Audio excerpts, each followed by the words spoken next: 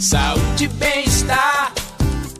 Receita certa de saúde, beleza, relax. Saúde e bem-estar. Cuidando sempre da sua saúde. Começando aqui o programa Saúde e Bem-Estar. O programa que vai trazer para você várias informações voltadas à saúde e bem-estar, é claro. No programa de hoje, em especial, vamos estar ouvindo o Dr. Rafael Haddad no quadro Olá Doutor. Ele é cardiologista cirurgião. E o legal desse papo é que a gente vai falar sobre arritmias cardíacas. Fique atento! No mesmo programa, vamos ouvir o que pensa a doutora Miriam Cristina sobre um tema extremamente polêmico. Tenho certeza que você também concorda comigo. O assunto será estupro. Para falar de saúde no esporte, convidamos o profissional Michael Oliveira. O Michael é integrado dentro da área, tem academia e vai falar sobre esse assunto. O assunto nosso será o esporte em academias.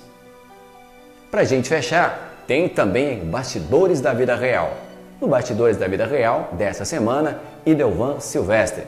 Alguém que, por ele mesmo, pelo trabalho do dia a dia, venceu na vida. Ele é do ramo imobiliário. Ele é empresário e não só empresário, é um cara que a população gosta e admira. E ainda dentro do programa tem o meu cantinho da música, hoje especialíssimo. Bem-vindo! Começa aqui o programa Saúde e Bem-Estar.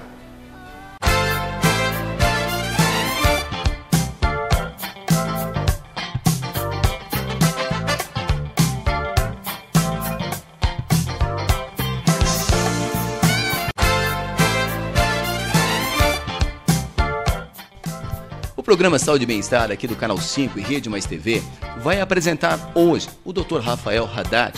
Ele é médico intensivista da área de cardiologia, cirurgião. É nosso convidado a partir de agora. Fique comigo.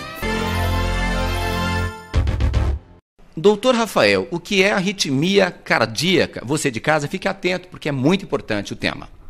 Bom, primeiramente, a palavra arritmia, nós temos que dissecá-la que, que é ritmo? Ritmo é alguma coisa que está no compasso, ou seja, que tem um ritmo.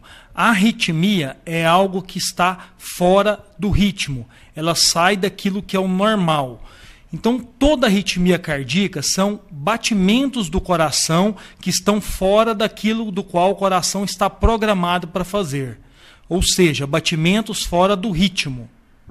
O que causa aí, é bom a gente questionar também a arritmia cardíaca? Santiago, várias são as causas de arritmia cardíaca. Nós podemos citar aqui causas estruturais do coração, do feixe de condução, são as causas elétricas, as causas vasculares, as arritmias causadas por isquemias do coração, as causas por doenças congênitas, as causas por doenças é, parasitárias, igual no nosso meio é muito comum a cardiopatia chagásica. Uma arritmia benigna e outra não. Como é que a gente pode classificar uma boa e uma ruim, assim, bem popularmente falando? É, bem popularmente falando, é o seguinte: a arritmia benigna é aquela que não vai causar morte súbita é aquela que você é capaz de conviver com ela sem ter um risco iminente de vida. A arritmia maligna é aquela que, de acordo com a quantificação e a qualificação de ocorrência dela, ela mata. Doutor Rafael, qual o procedimento ideal para a pessoa tomar em relação a uma arritmia grave? A primeira coisa, nós temos que diagnosticá-la, Santiago, como grave como que esse diagnóstico é feito? Procurando um cardiologista e executando alguns exames. Holter, ecocardiograma, ver se a pessoa tem arritmia ao esforço, é o teste de esforço, ela for capaz de fazer. E o exame, que é o padrão ouro hoje, que nós utilizamos quando tem indicação, é o estudo eletrofisiológico. Esse, com esses exames, você fecha quase 99% do diagnóstico de, das arritmias com possibilidades de tratamento terapêutico efetivo ou não, dependendo daquilo que, que é a doença de base. Ou seja, um conjunto de ações para se chegar a um diagnóstico. É isso, doutor? Sim, sempre.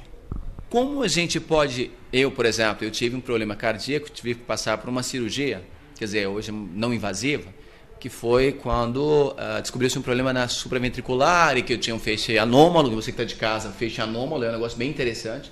E a gente vai estar tá discorrendo sobre esses assuntos também. Mas como é que eu vou conviver com isso? Como é que eu vou entender isso? Qual é o procedimento ideal para o paciente?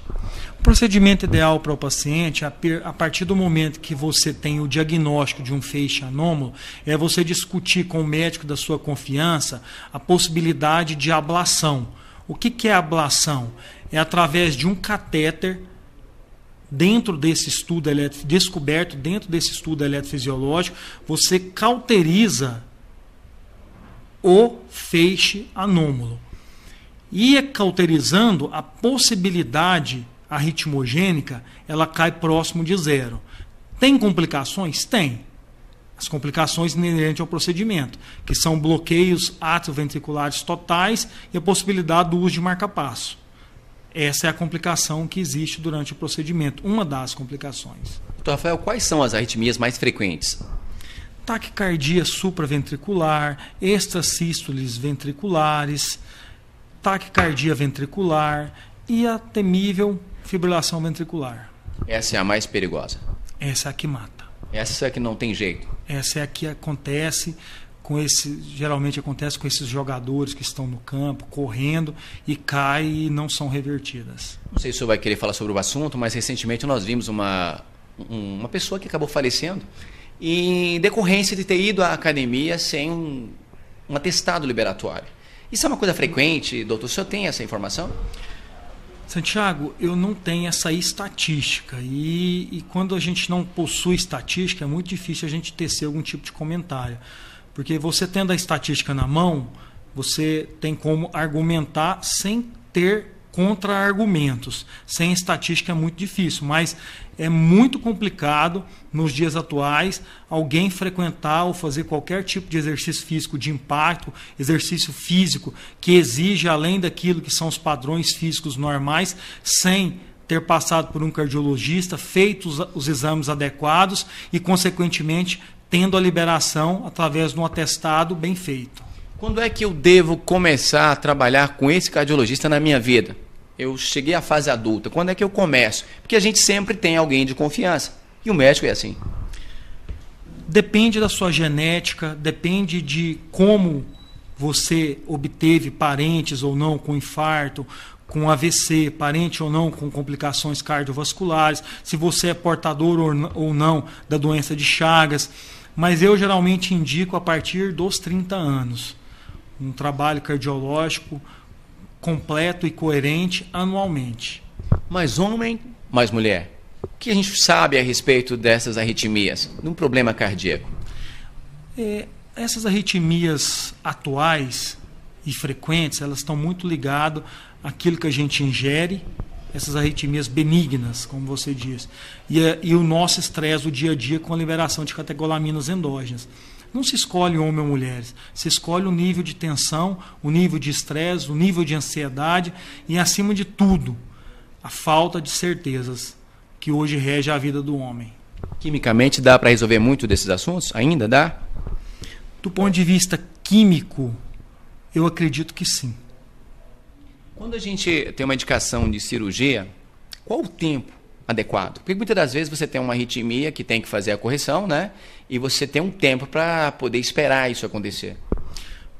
Medicina não é matemática, mas o quanto antes você intervir em algo que te incomoda e que pode te levar a ter uma complicação maior é melhor. O que mata mais no Brasil? Será coração? Será câncer? O que diz um cardiologista sobre esse assunto? Vamos saber com o doutor Rafael Haddad? Qual é a opinião dele? O que a gente pode entender desse tão temido assunto? Você que é cardíaco, de repente precisa de uma conversa mais direta, mais franca com seu médico. Atualmente no mundo, o que mais mata é o estresse. O estresse com a liberação todos aqueles hormônios, inclusive as catecolaminas endógenas. Independente do paciente, dependente daquilo que são as formações do paciente, isso libera através de derrame, que é o AVC, através de infarto e através de outras doenças da árvore cardiovascular, estando ela em qualquer parte do corpo do ser humano. É um assunto que a gente tem que abordar um pouco mais com propriedade. Estresse. O mundo inteiro sofre desse problema. O que seria estresse? O que eu posso fazer para me prevenir? Será que existe uma precaução? O que eu vou poder viver da agora para frente? De que forma? No meu entendimento cristão, o estresse ele acontece na vida de cada um de nós quando a gente vive o amanhã. E a gente vive tão desesperadamente o amanhã como se o hoje não existisse. E a partir desse momento, nós nos perdemos naquilo que são as convicções da vida. E a gente começa a achar um fim em nós mesmos. Existe um mito que médico não acredita em Deus. Mas o que seria do homem se não tivesse o direcionamento de Deus?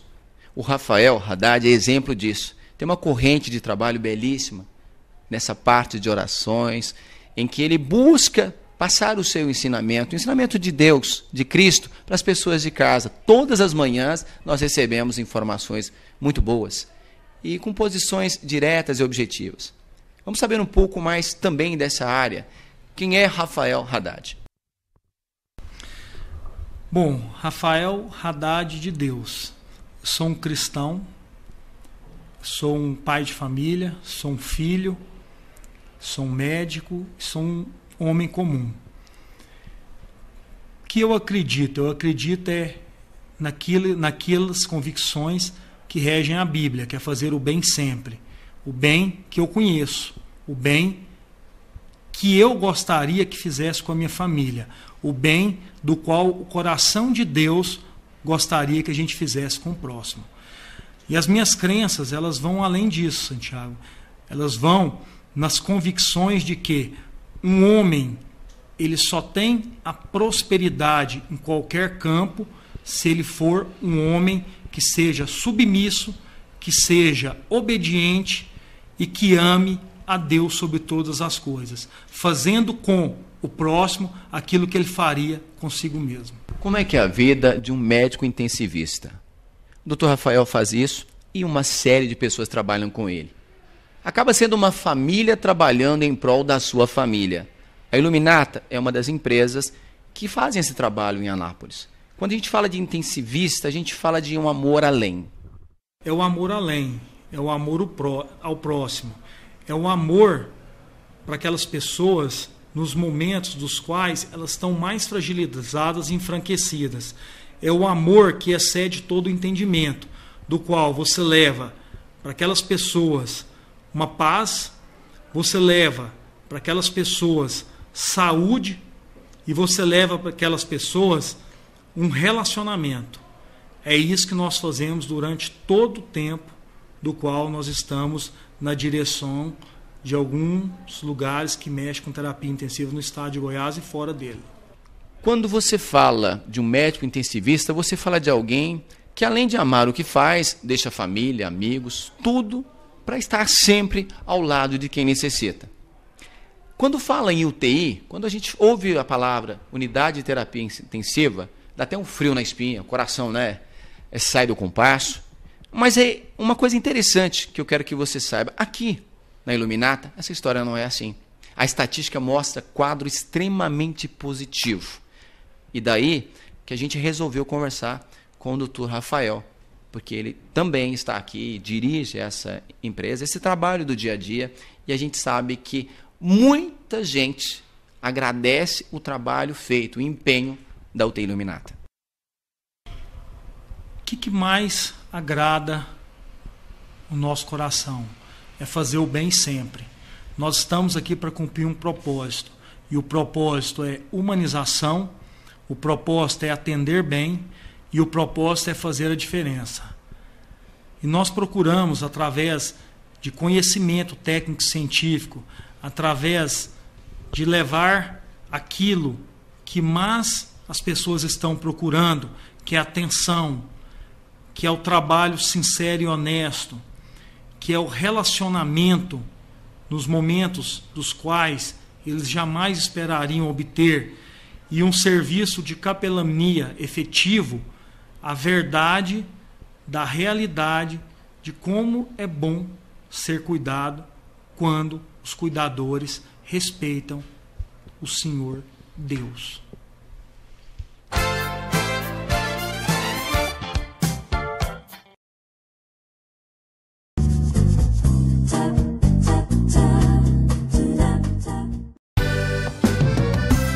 Contigo Colchões é mais conforto pra você, mais qualidade. A Contigo Colchões é uma loja completa. Você.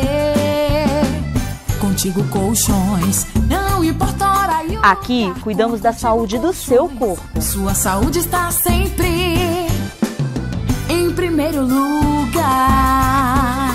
Na Contigo, você encontra o colchão adequado para o seu biotipo. Contigo Colchões. Doces Momentos Belma. O que você quer ser quando crescer? Enfermeira. Enfermeira é legal, mas eu prefiro polícia. Polícia é divertido. Mas que tal palhaça? Hum, então eu quero ser aeromoça. Então eu quero ser veterinária. O que você quer ser quando crescer? Grande. Wafer Belma. Cinco sabores. A escolha certa. Oi, lê, oi, lê, oi lá. Na Brasil, seu dinheiro compra mais. No Básico Acabamento tem areia e cimento. Na Brasil, você tem o melhor atendimento. 3315 2222.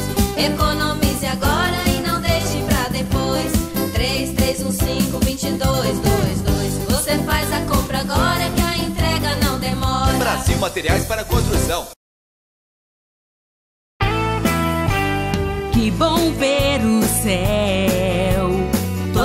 Cores definidas, poder enxergar o lado bom da vida. Na ótica Solarius, você encontra lentes e armações e muito charme. A ótica Solarius é conforto e elegância para os seus olhos.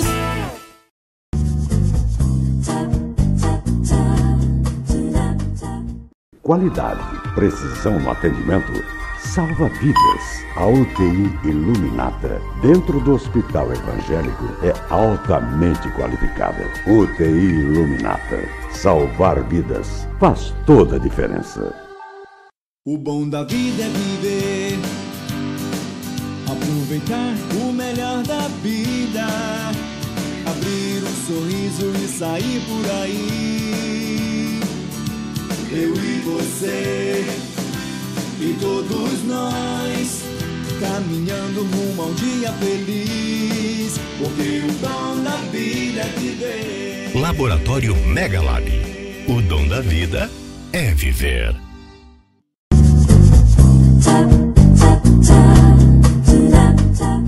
Saúde e bem-estar. Receita certa de saúde, beleza, relax. Saúde e bem-estar. Cuidando sempre da sua saúde.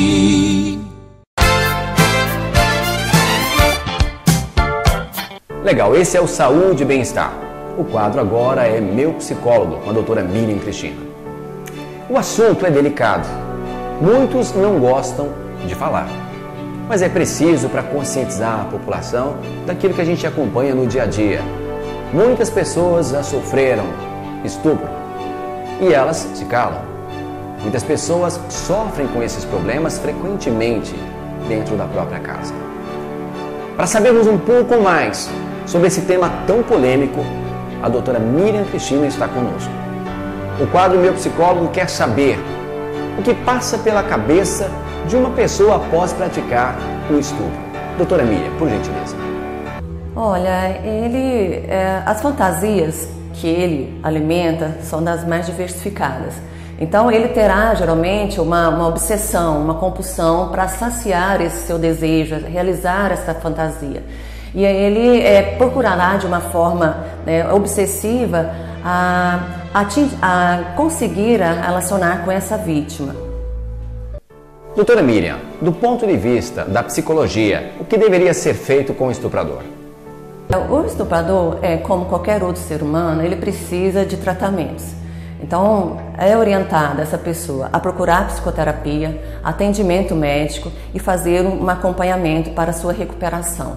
Ah, então, há possibilidade sim de recuperação. As, mais, as, dificuldades maiores de recuperação seriam para os psicopatas.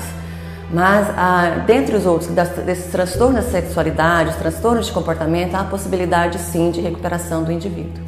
Uma pessoa vítima de estupro deve ter um distúrbio qualquer a partir daquele momento. O que seria esse distúrbio, doutora?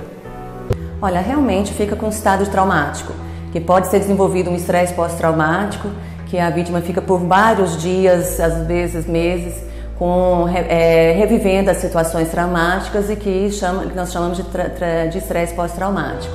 Pode desenvolver depressão, transtorno de ansiedade e às vezes até outros transtornos recorrentes à sexualidade.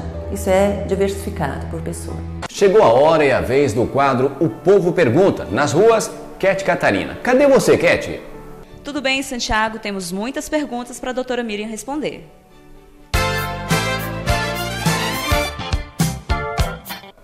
A Fernanda da Santa Maria perguntou: Uma infância perturbada pode sofrer transtornos? Pode, pode ter, mas não necessariamente uma criança que sofreu abuso sexual ou foi estrupada no seu período infantil ou na adolescência, ela se tornará uma, uma pessoa com transtornos, é, desvios da sexualidade. Mas pode desencadear algo como um transtorno da sexualidade, como quadros depressivos e dificuldades para relações afetivas. O interesse, a vontade, a gana de estuprar alguém pode ser considerado, doutora, uma doença? Às vezes sim. Como eu falei, tem os transtornos da sexualidade, os maníacos sexuais, né, casos de psicopatia. Né, Existem os psicopatas que têm preferências, é, têm compulsões sexuais e aí eles têm as suas preferências ou por crianças, que no caso da pedofilia, ou é, pela transtorno da sexualidade diversos, que o objeto sexual pode ser diversificado, tanto pode ser criança, adolescente, mulheres, homens é, ou idosos, é, ele vai fazer uma escolha. A mídia num todo, principalmente as redes sociais, tem falado ultimamente sobre uma campanha que diz assim: Eu não mereço ser estuprado ou estuprada. O foco é esse mesmo? O que a senhora me diz desse assunto, doutora? Como é que é a sua visão dentro da psicologia?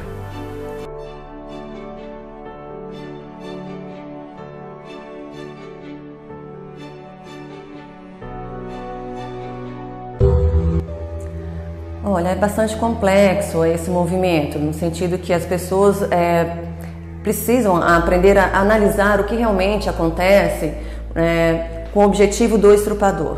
Por exemplo, é, vamos supor que esteja numa parada de ônibus à noite duas mulheres, uma vestida com roupa sensual e a outra de calça jeans e mas a preferência do estrupador é por mulheres com, por exemplo, seios grandes. E quem tem seios grandes é a mulher de calça jeans e camiseta. Então, qual que você acha que ele vai atacar? A que está com roupa sensual ou a outra de calça jeans e camiseta? Então, a preferência dele é que vai fazer a escolha, que pode ser uma mulher, ele tem a preferência por loiras, ou tem preferência que tenha é, bumbum grande, seios grandes. Algo tem a ver com a fantasia dele, com a preferência dele. E geralmente eles podem ter uma, uma assinatura, que é algo que faz parte da história de vida dele. Ele pode ter preferência por mulheres loiras ou por mulheres de determinado padrão é, físico e, e, e, sempre atuar é, agredindo, violentando esse padrão feminino. Ou então pode até ser crianças e adolescentes. A Maria Helena do Centro perguntou se uma roupa curta ou mais provocante pode chamar mais atenção. Não necessariamente, pode ser que tenha importância sim. Veja bem, eu, eu dou aula na faculdade e às vezes eu levo vídeos para a gente estudar casos de psicopatas, comportamentos psicopatas. E um desses vídeos é do Francisco de Assis, o maníaco do parque. Quando o repórter pergunta a ele é, quais foram as características das moças que ele escolheu, por que, que ele fez aquela escolha. E ele fala justamente de uma, de uma das moças que ela estava com um short curtinho, com uma top, que ela estava muito sensual e que todos os carros que passavam mexiam com ela e que isso tinha deixado ele muito excitado. Então, para ele, o maníaco, ele, ele fez a escolha a partir dessa sexualização da vestimenta dela. Ah, então, pode chamar a atenção de um estrupador? Pode. Isso vai depender da preferência dele. O estupro pode partir de uma mulher? A Karina do Recanto do Sol perguntou. Ela pode violentar, a mulher também pode violentar sexualmente um homem, uma criança, um adolescente, mas a maior parte dos estupradores são homens.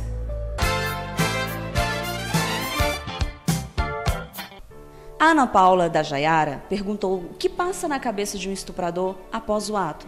Se ele for um psicopata, ele não terá remorso nenhum. Ele vai repetir o ato. Sempre repetirá.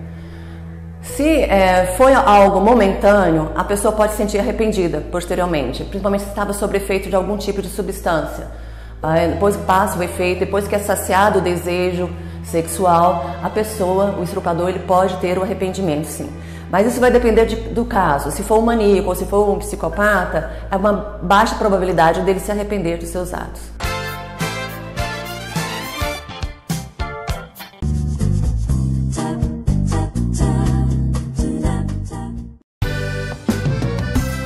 Contigo Colchões é mais conforto pra você, mais qualidade. A Contigo Colchões é uma loja completa. Você.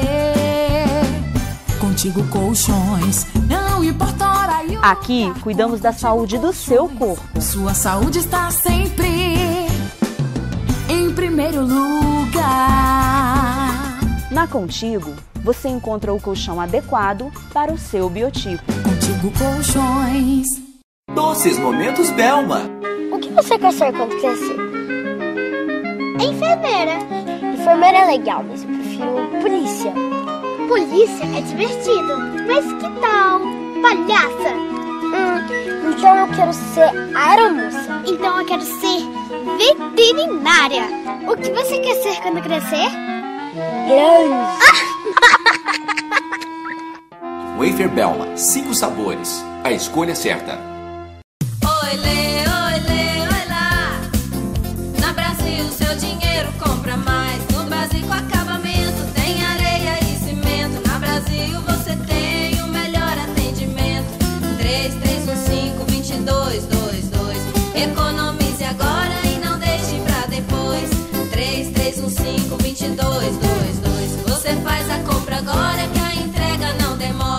Materiais para Construção.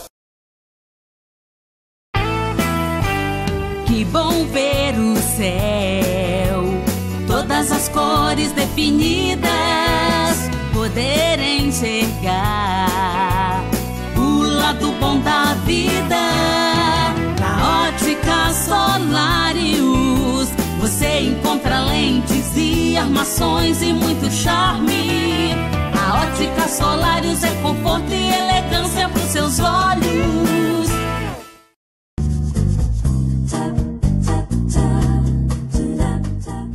Qualidade, precisão no atendimento, salva vidas. A UTI Iluminata, dentro do Hospital Evangélico, é altamente qualificada. UTI Iluminata, salvar vidas faz toda a diferença. O bom da vida é viver, aproveitar o melhor da vida, abrir um sorriso e sair por aí. Eu e você, e todos nós, caminhando rumo a um dia feliz, porque o dom da vida é viver. Laboratório Megalab. O dom da vida é viver.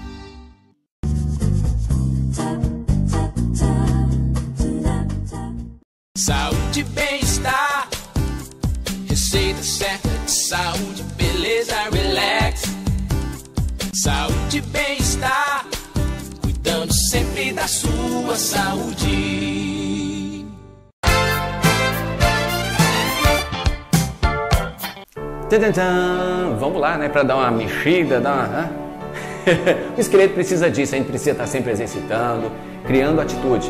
E você que pratica esportes, fique atento. Você que gosta de malhar, academia. O meu convidado agora é nada mais, nada menos que Michael Oliveira. Ele é educador físico. A gente começa sem perder tempo. O Michael, o que seria, na verdade, a educação física? Ou o que seria essa atividade física em academia? Atividade física, Santiago, ela consiste basicamente em exercícios resistidos. São exercícios onde você vai usar um peso para sobrepor uma carga no seu músculo. Essa sobrecarga ela gera uma tensão muscular. causando, dependendo do objetivo do praticante, uma hipertrofia muscular, que é o crescimento do músculo, ou em outros casos, ela pode causar também um desgaste muscular, geralmente pessoas que buscam emagrecimento. Também consiste também o exercício em academia, atividade em academia, o exercício aeróbio, que consiste na prática de corridas, em esteiras, em bicicletas, que podem levar essa pessoa ao melhoramento do sistema cardiorrespiratório, cardiovascular. Isso é o básico que se tem hoje em uma academia. E quais seriam os perigos dentro da academia no esporte? Os perigos são vários, desde pequenas lesões que a gente pode ter, uma lesão muscular, uma lesão ligamentar, ou até mesmo lesões mais sérias, como lesões que podem atingir o tecido cardíaco. Geralmente são pessoas que chegam na academia, elas não têm nenhuma noção que já tem um problema cardíaco e esse problema cardíaco pode ser mínimo, pode ter feito eletro, alguns outros exames, mas que não são detectados e aí, quando vai fazer o exercício, por exemplo, uma esteira, onde às vezes o desgaste é muito intenso, essa lesão cardíaca pode transparecer. Por isso que é super importante as pessoas, antes de praticar qualquer tipo de atividade, procurarem um médico para que ele possa fazer todos os exames necessários para que você possa praticar atividade física sem nenhum tipo de problema. Michael, existe uma idade adequada para praticar exercícios em academia? Muito boa essa pergunta porque é o seguinte: existia, existe até hoje um mito dentro de academias que crianças não podem participar de atividade física dentro da academia. Isso é um mito que já caiu há vários anos, porque pesquisas antigas tratavam disso. Hoje as pesquisas mais recentes, os estudos mais recentes pesquisas científicas mais recentes, eles já apontam que não existe uma idade adequada para isso. A idade é, o grande problema é uma criança de 8, 9, 10 anos ou até menos, se tiver obesa, ela não pode pegar peso em excesso. Agora, uma recomendação que eu faço até mesmo para meus clientes: crianças de 5, 6, 7 até 10, 11 anos, coloquem elas em outras atividades que possam também desenvolver coordenação motora, que elas possam desenvolver lateralidade, porque a musculação vai deixar ela um pouco presa. São exercícios que deixam ela um pouco presa. Então, às vezes, fica monótono para a criança fazer isso. Eu acho que esse é um assunto mais polêmico, né? O uso de anabolizante ainda é frequente nas academias entre essas pessoas que frequentam? Por incrível que pareça, em 2014, a quantidade de informações que nós temos hoje, através de internet, de tudo, o uso de anabolizante é crescente nas academias. Por incrível que pareça, apesar de vários depoimentos de pessoas que sofreram devido a câncer, desenvolveram outros tipos de doença devido ao uso de anabolizante, esse uso é muito crescente. O grande problema é, eu já passei por vários, alguns médicos por incrível que pareça, aqui na cidade de Anápolis, eles estão prescrevendo anabolizante para algumas pessoas. O problema disso que acontece é que não há uma margem de segurança. Às vezes, o que uma pessoa utiliza é pouco e o que a outra pessoa utiliza a mesma quantidade de anabolizante já é exagerado para o organismo dela. Então tem que ter muito, muito cuidado ao se pensar em utilizar anabolizante pode causar a sua morte. Qual seria a importância do alongamento antes de um exercício físico?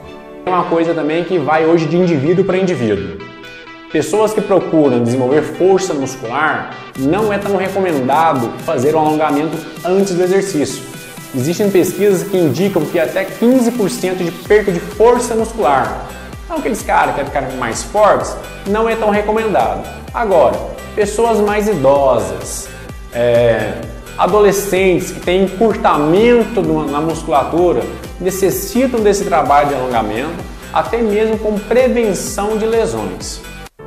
Michael, qual a importância do aquecimento antes de iniciar uma atividade física? O aquecimento ele serve justamente para lubrificar, a palavra é bem essa mesmo, lubrificar o seu corpo.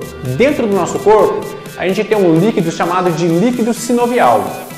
Quando sua musculatura não está aquecida, ela não ocorre uma produção desse líquido sinovial.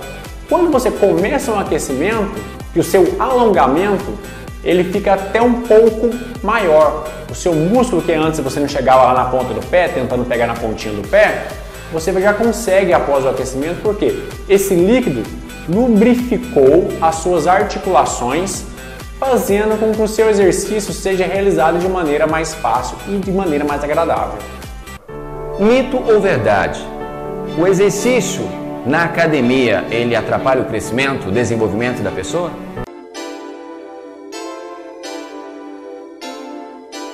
Foi no mesmo passo daquela pergunta anterior lá. Não atrapalha o crescimento. O grande problema é, você não pode colocar uma pessoa que está desenvolvendo a sua, o seu crescimento e colocar peso em excesso nessa criança, nesse adolescente. Isso vai causar, com certeza, o peso em excesso causa, atrapalha o crescimento desse indivíduo.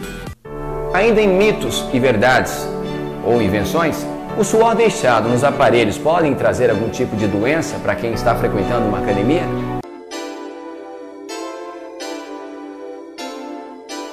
Existem poucos relatos sobre isso, mas alguns relatos recentes dizem que micose, alguns tipos de micose, podem ser transmitidos sim devido ao suor que fica pregado nos aparelhos. Por isso é super importante você higienizar antes todos os aparelhos antes da prática do seu exercício. Roupas pesadas, saco plástico, de alguma forma isso ajuda para quem quer emagrecer nos exercícios do dia a dia?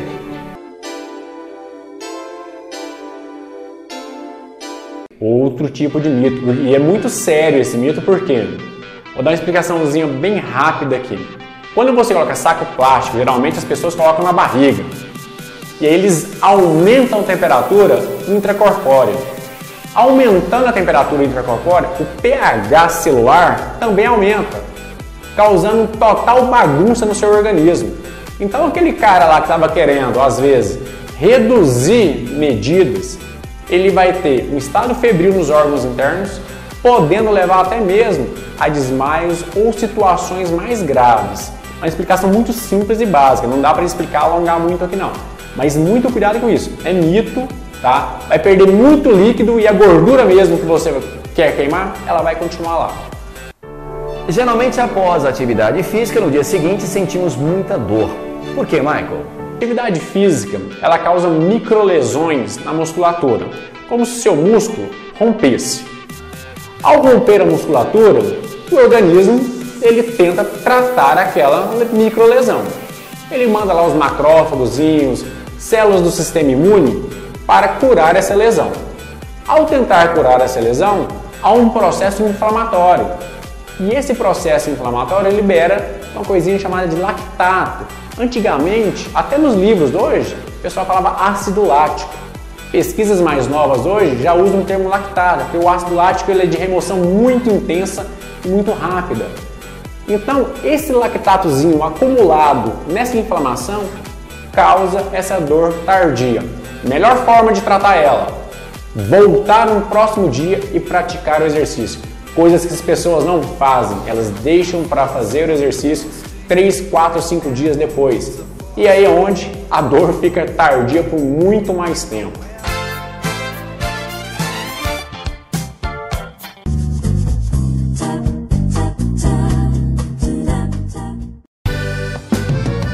Contigo Colchões é mais conforto pra você, mais qualidade. A Contigo Colchões é uma loja completa. Contigo Colchões, não importa a hora e o Aqui cuidamos da saúde do seu corpo. Sua saúde está sempre em primeiro lugar. Na Contigo, você encontra o colchão adequado para o seu biotipo. Contigo Colchões. Doces Momentos Belma. O que você quer ser quando crescer? Enfermeira. Enfermeira é legal, mas eu prefiro polícia. Polícia é divertido, mas que tal palhaça? Hum, então eu quero ser aeromoça. Então eu quero ser veterinária. O que você quer ser quando crescer? Grande. Wafer Belma. Cinco sabores. A escolha certa.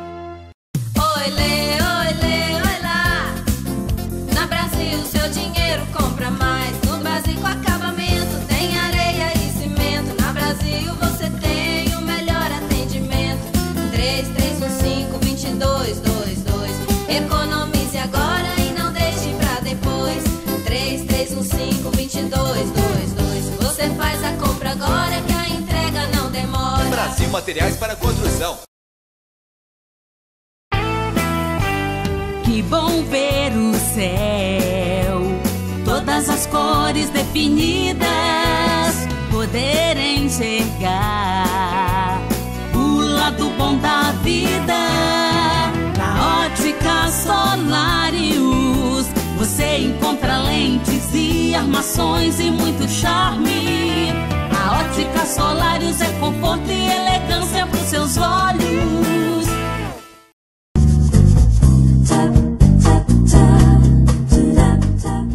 Qualidade, precisão no atendimento, salva vidas. A UTI Iluminata, dentro do Hospital Evangélico, é altamente qualificada. UTI Iluminata, salvar vidas faz toda a diferença. O bom da vida é viver, aproveitar o melhor da vida, abrir um sorriso e sair por aí. Eu e você e todos nós caminhando rumo a um dia feliz, porque o dom da vida é viver. Laboratório Megalab. O dom da vida é viver.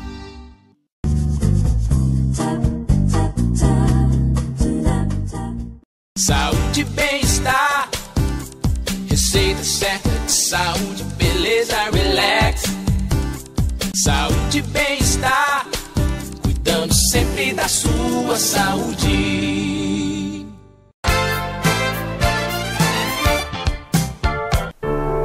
O Bastidores da Vida Real agora pergunta: Quem é Idelvan?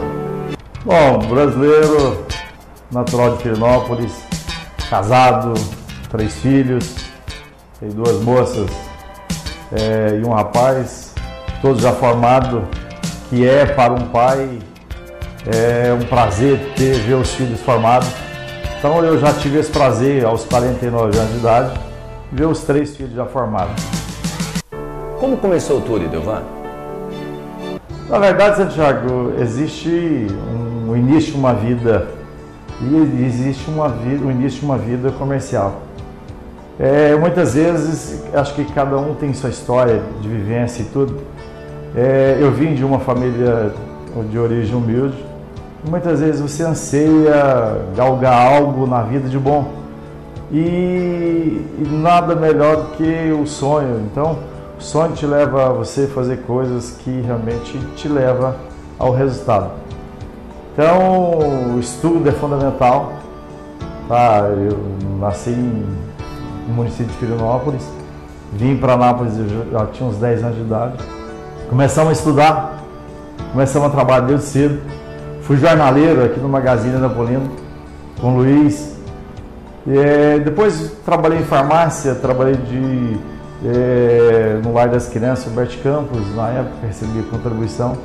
Enfim, tive uma vida igual eu conversei com você, você também teve uma, uma vida de origem humilde e tudo. E aí, muitas vezes você vendo algumas pessoas bem-sucedidas, você sonhava com aquilo. E eu falei assim, ó, nada melhor do que é, o estudo e o trabalho e a dignidade para que você pudesse galgar um sonho realizado. Bom, eu estou vendo aqui uma foto, parece de família, todo mundo reunido. Nós gostaríamos que você nos mostrasse, identificasse quem são essas pessoas, pode ser? Esposa Elizabeth. Sim, trabalha contigo. Trabalha comigo no braço direito, é o gerente. Ela é responsável pelo departamento de aluguel de Anápolis, da minha empresa. É, Petrina, ela é formada em, em, em, em arquitetura pela, pela Faculdade Católica de Goiânia. A Thalita, é, gestão imobiliária, que é a minha gerente comandante aqui do correspondente Caixa aqui em Anápolis. E o meu filho, Delvan Filho, que formou também em Faculdade de Gestão Imobiliária, que é o nosso braço direito aqui da empresa.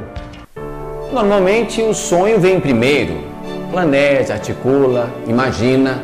Quando foi que você tirou os seus sonhos do papel, Idelvan?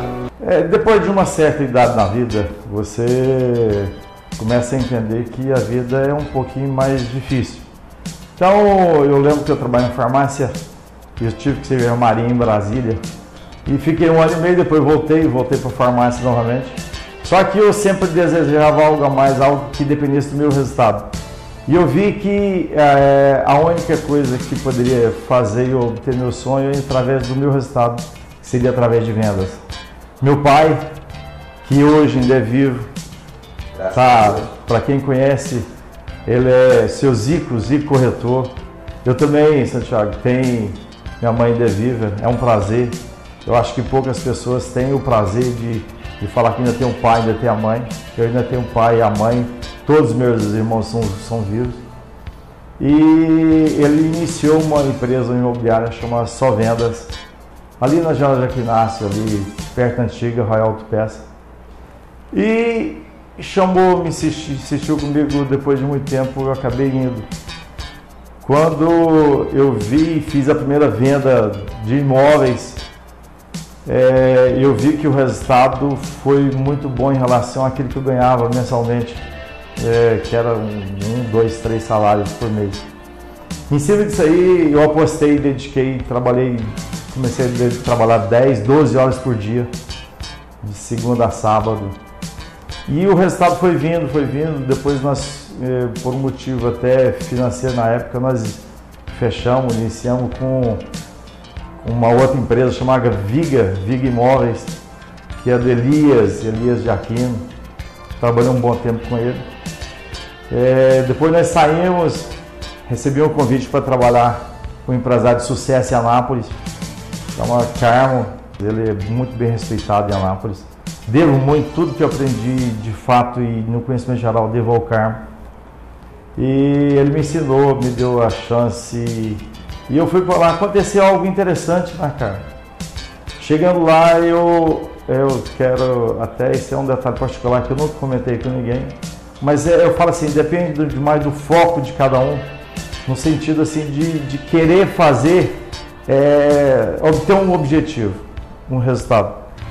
Eu, eu sabendo que a Carmo era a melhor empresa do segmento imobiliário de Anápolis, é, eu perguntei para o Carmo, Carmo, quem é o melhor corretor seu? Ele foi lá, aquele cidadão, chama João Soares, é, que era gerente do Carmo.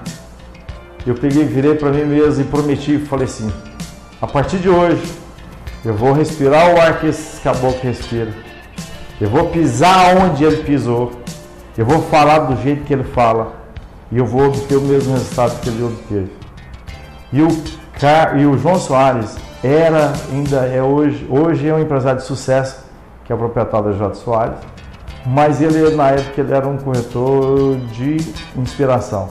Então fiz isso e depois de, de alguns anos sentei na cadeira do João, do João Soares, ele montou a empresa dele, sentei lá é, consegui a gerência da Imobiliária Carmo, onde nós fizemos um trabalho durante 10 anos na Imobiliária Carmo. E em 2000, ano de 2000, é, tomei a grande decisão de montar uma empresa e nós fomos e montamos a Imobiliária Residência em 2000. Já existia uma empresa chamada Residência Imóveis. Essa empresa tinha alguma dificuldade financeira, nós assumimos fizemos o trabalho, pagamos, modificamos, alteramos e começamos a trabalhar. É, que é uma, acho que é uma grande referência. O Idovan Silvestre é empresário do ramo imobiliário, da imobiliária residente, como você já pôde ver. Nós estamos vivendo hoje em Anápolis uma nova estrutura de vida, uma nova ideia, um novo conceito. A cidade ganha status de metrópole, apesar de não ter tamanho para isso ainda mas é responsável por 10% daquilo que se arrecada mensalmente no estado de Goiás. É a 40 cidade no ranking nacional. Em desenvolvimento, obviamente. E esse desenvolvimento trouxe muitas pessoas para cá. Dentre elas, o ramo imobiliário cresceu bastante. Como é que você vê essa motivação da área imobiliária, Ilvan? Oh, Santiago, realmente isso é uma, eu não digo assim, uma preocupação é, vamos supor, que vem afetar quem está preparado. Quem não está, com certeza, está preocupado, porque quer queira, quer não, o mercado é aberto. E você não tem como falar que tal empresa tal segmento vem para Nápoles. Então, vou falar em cima do segmento imobiliário. Realmente houve uma explosão de, é, de empreendimentos em Anápolis. É, é, um dos fatores que mais fez Anápolis dar um boom no segmento de, de profissionais e até de empresas imobiliárias em Anápolis foi a vinda do, do Alphaville para Anápolis. Eu acho que poucas pessoas, é, poucas cidades é, têm o prazer de ter uma empresa igual a Alphaville. Então ela veio, ela alavancou, ela fez dois empreendimentos, que é o Terras Alphaville e o Alphaville, próximo a Anápolis City. Em aí, ela abriu no geral e algumas pessoas que não tinham despertado para o segmento imobiliário começou a vir é, e obteve um resultado. Em cima disso aí, é, montaram assim várias imobiliárias é, e estão vindo e é normal. É, algumas empresas vão crescer, outras empresas vão, vão se, se implodir. É, há uma seleção natural em cima disso aí. Nos bastidores da vida real, Delvan, a gente pergunta sempre um fato que tenha marcado a vida do entrevistado. Qual foi o fato que marcou a sua vida? É, na hora da decisão, é, você traça o seu destino. Eu acho que a vida ela é feita de, de momentos que você tem que definir o que, que você quer. Então, muitas vezes, na hora que você traça o seu destino, é, existe algo pessoas que te puxam. E aí, tipo, não, eu vou. E tem hora que você tem que muitas vezes sacrificar. É, muitas vezes o lado prazer pessoal, o lado você está junto com a família, em prol de, de, um, de, um, de um resultado. Então, tem hora que machucava, muitas vezes deixar as pessoas que você gosta para atingir um resultado. Obrigado por atender a gente aqui no Bastidores da Vida Real, Delvan. Foi muito bom conversar contigo e com certeza logo mais teremos outras conversas porque a Nápoles está crescendo, o comércio também e o empresário, como você, é claro, vai ter sempre boas histórias para contar. Muito obrigado. Eu que agradeço, Santiago. Eu, eu, você é uma pessoa que eu admiro, já, já te conheço tem tempo, te admiro como profissional. Você é um dos ícones do segmento de, de informação em Anápolis. Tá, eu sei que esse novo programa agora, é, o pouco que está já no ar, eu já, eu já assisti, já vi. É, fica tranquilo que já é sucesso e vai estourar mais ainda. Continua, continua fazendo esse trabalho que você está fazendo, continua sendo a pessoa que você é. Com certeza, você dando um tempo, o resultado virá. Prazer foi meu, obrigado, tamo junto. Conhecemos hoje a vida e um pouco da história de Delvan Silvestre, empresário do ramo imobiliário. Não perca o próximo Bastidores da Vida Real, onde vamos conhecer um pouco mais de João Gomes, prefeito de Anápolis, da infância pobre e humilde ao homem público bem-sucedido. Próximo Bastidores da Vida Real, vamos conhecer João Gomes, como você nunca viu na televisão.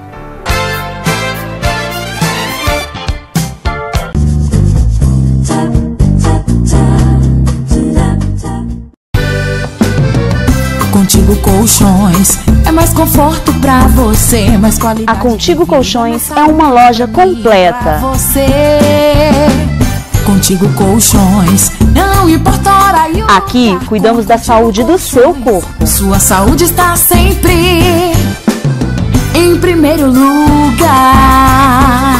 Na Contigo, você encontra o colchão adequado para o seu biotipo. Contigo Colchões. Doces Momentos Belma. O que você quer ser quando crescer? Enfermeira. Enfermeira é legal, mas eu prefiro polícia. Polícia é divertido, mas que tal palhaça? Hum, então eu quero ser aeromoça. Então eu quero ser veterinária. O que você quer ser quando crescer? Grande. Wafer Belma. Cinco sabores. A escolha certa. Brasil, seu dinheiro compra mais. No Brasil, com acabamento, tem areia cimento. Na Brasil, você tem o melhor atendimento. 3, 3, 1, 5, 22, 2, 2. Economize agora não deixe pra depois. 3, 3, 1, 5, 22, 2, 2. Você faz a compra agora que a entrega não demora. Brasil Materiais para Construção.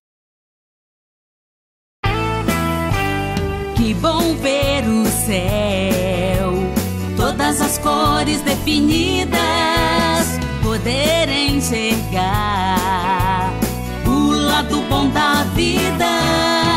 Na ótica Solarius, você encontra lentes e armações e muito charme. A ótica Solarius é conforto e elegância para os seus olhos.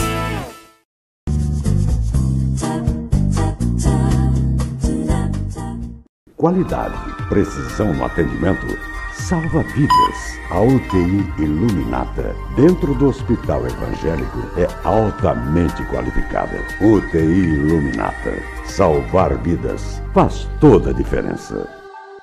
O bom da vida é viver, aproveitar o melhor da vida, abrir um sorriso e sair por aí.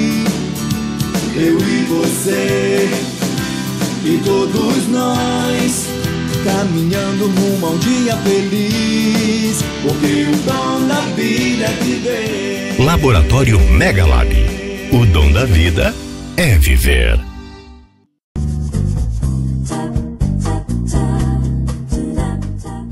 Saúde bem-estar. Receita certa de saúde, beleza, relax. Saúde e bem-estar. Cuidando sempre da sua saúde.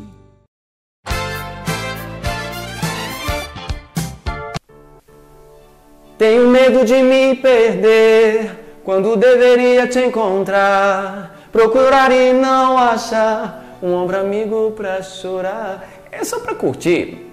E aí, gente gosta desse quadro. Espero que você também goste.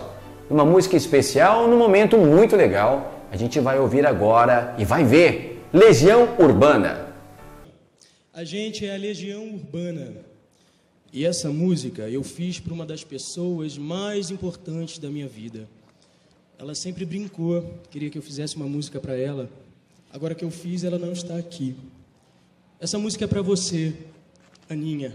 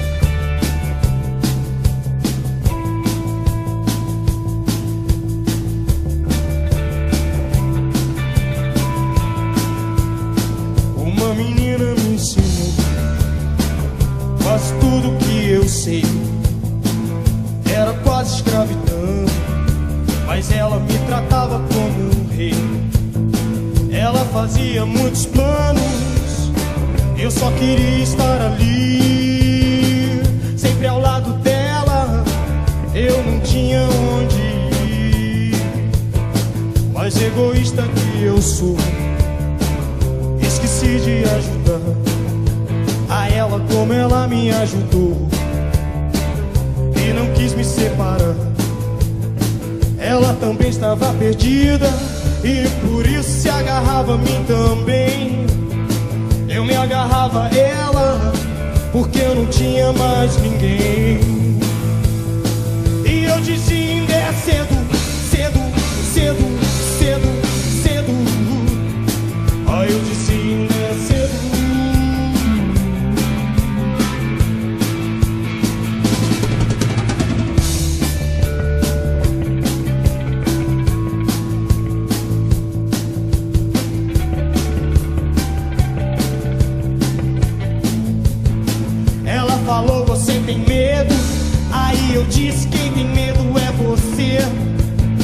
Falamos o que não devia, nunca ser dito por ninguém.